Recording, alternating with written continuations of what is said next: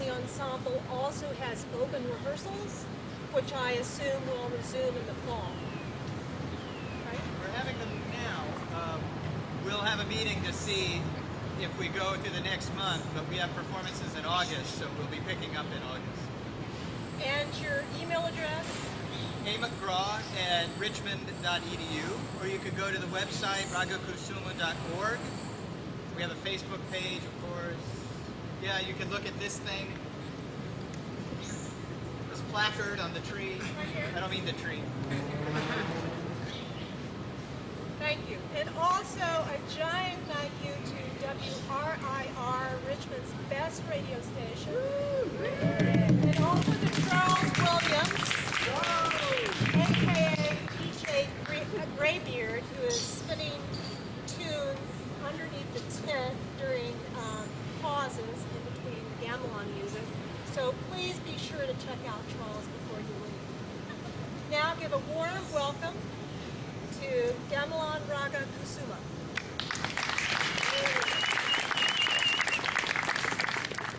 So I just want to say a couple of things. Um, first of all, we should thank the dancers from DC, the Balinese dancers that perform at the embassy.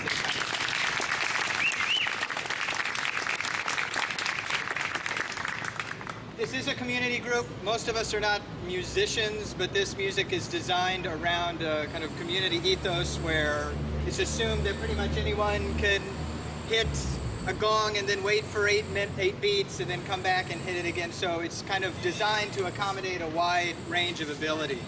Um, we're being blessed right now, so I didn't get any. Oh, uh, sorry, Andy. Just. Um, so this is the offering the Balinese traditionally make for the uh, performances for the gong. Afterward, we get to eat it. We'll play for about 40 minutes, take a break. We'll probably drink more than we should, and then we'll come back and it'll sound a little bit different. Um, and then at the end of that, if you want to come up and check out the instruments and hit them, feel free. The only rule is you cannot step over the instruments, and you shouldn't hit the gong very hard. So small children should be monitored around the gong. Um, and if you're interested in coming to any rehearsals, Thursday evening 7 to 9, Sunday afternoons 3 to 5, in the basement of the Weinstein International Center. But all of this is on our website. So thank you very much for coming.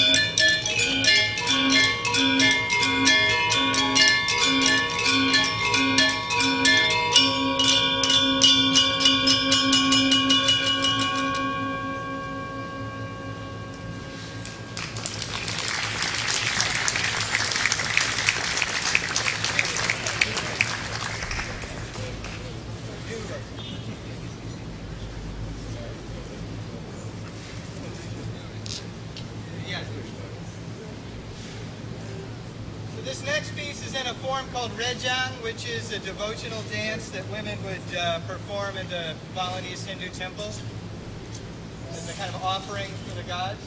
But this is a new composition composed by the uh, composer, uh, Dewa Alit, in 2007. So it's a very, very old form, but he's expanded it from five to a seven-tone system.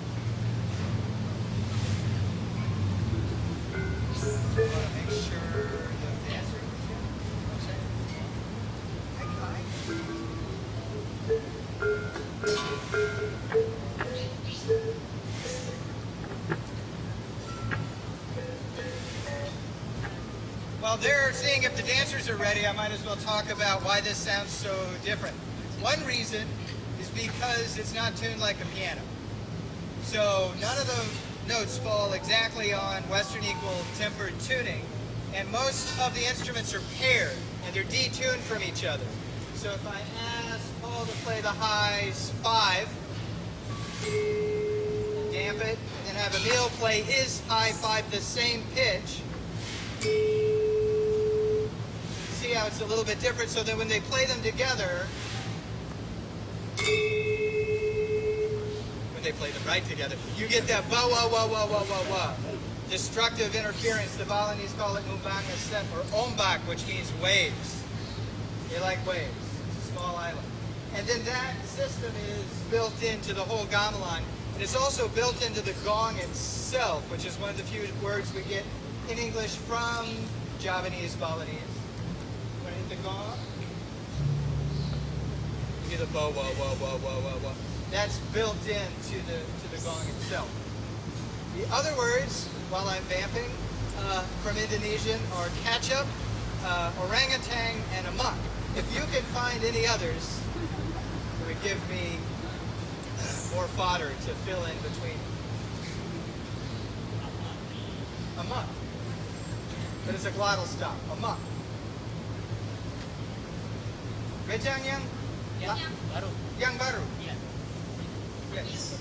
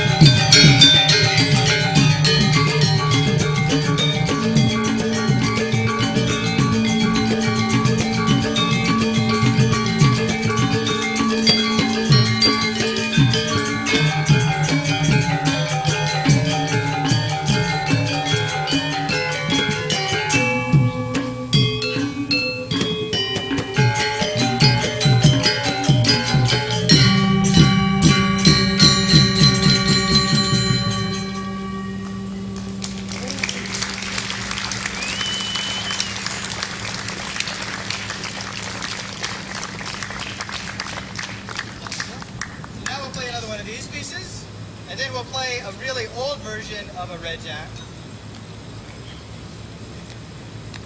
Yeah. This piece is called Eel Bone. Called Eel Bone.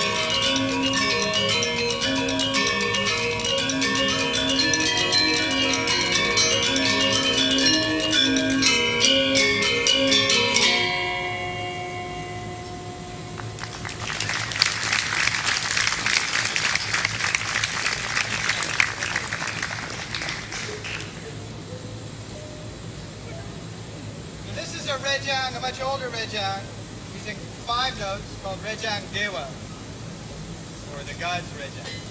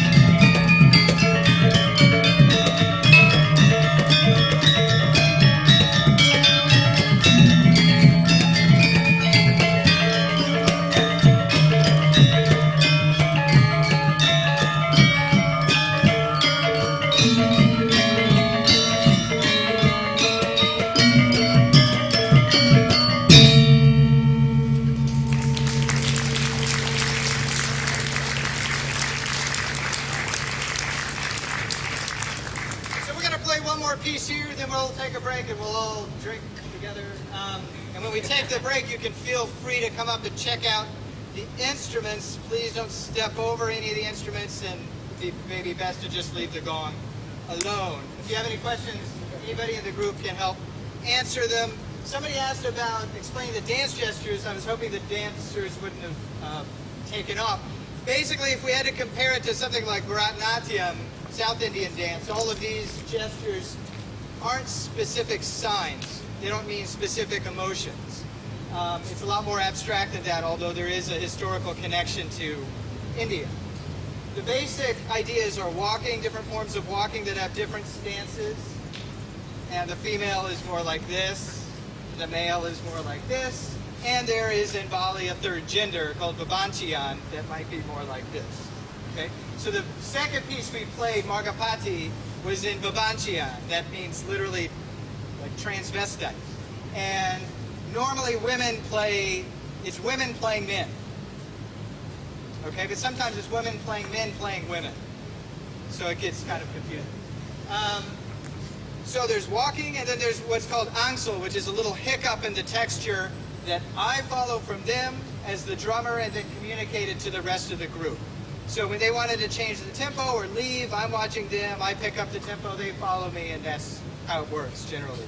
Normally, the dancer communicating the drummer to the rest. Although some pieces are actually completely set, like the bebancihan piece. So we'll do one more piece here, then we'll take a break. This one's called uh, the Peking Peacock. I'm not making it.